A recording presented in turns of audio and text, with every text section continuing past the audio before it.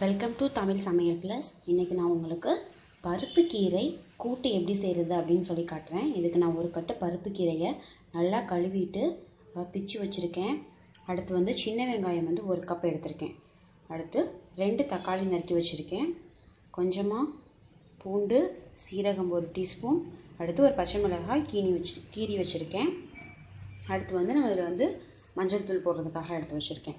இப்போ நான் வந்து ஏற்கனவே பருப்பு வந்து நல்லா வேக வச்சு எடுத்திருக்கேன். துவரம் பருப்பு எடுத்திருக்கேன். ஸோ வந்து நான் நல்லா வேக வச்சு எடுத்திருக்கேன். இப்போ நம்ம இது எல்லாத்தையும் இதில் ஆட் பண்ணிடலாம்.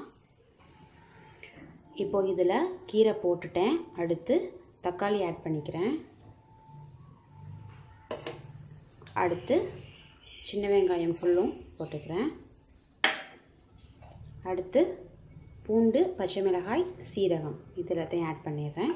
இப்போ நம்ம இதில் ஒரு டீஸ்பூன் மஞ்சள் தூள் சேர்த்துக்கலாம். இது வந்து காரம் உங்களுக்கு வேணும் அப்படின்னாக்கா நீங்கள் வந்து நான் ஒரு பச்சை மிளகாய் மட்டும்தான் போட்டிருக்கேன். உங்களுக்கு வேணும்னா நீங்கள் ரெண்டு பச்சை மிளகாய் கூட ஆட் பண்ணிக்கலாம்.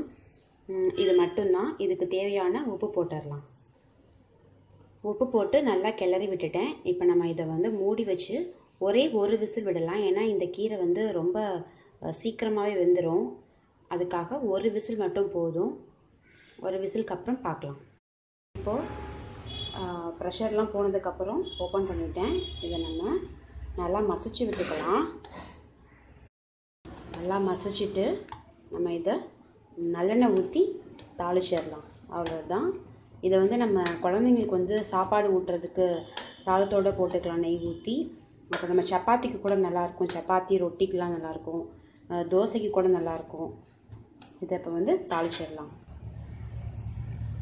நல்லெண்ணெய் ஊற்றிட்டு கடுகு உளுந்து போட்டுக்கலாம். ஒரு வரமிளகாவும் பெருங்காயத்தூளும் போட்டுக்கலாம்.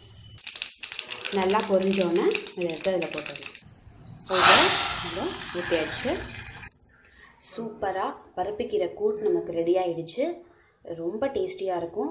செஞ்சு பாருங்கள் உங்கள் கமெண்ட்ஸ் என்னோட ஷேர் பண்ணுங்கள் மறக்காமல் சேனலை சப்ஸ்கிரைப் பண்ணுங்கள் நன்றி. வணக்கம்.